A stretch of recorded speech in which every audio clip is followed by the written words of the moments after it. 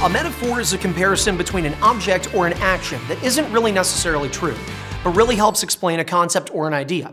If you think about it, the name the Cyclones is a metaphor that implies that together, the members of Cincinnati's team aren't mere hockey players, but they are a large scale air mass capable of extreme destruction.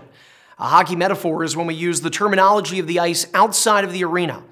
Hockey games begin with a face-off, the moment when the referee drops the puck between two opposing players to start the game. Outside of the arena, two candidates might face off during a political debate. In hockey, players get sent to the penalty box when they've committed an offense on the ice. Checking, roughing, slashing, tripping. Off the ice, you may have been sent to the penalty box, but what we're really talking about is a timeout. When a player from one team is sent to the penalty box, the other team gets to play with more players on the ice. This is called a power play. People who work in business say they're making power plays whenever they feel like they've got the upper hand in a business deal. And if things go really well in business or on the ice, we might refer to their good fortunes as a hat trick, which in hockey refers to three goals by the same player in the same game.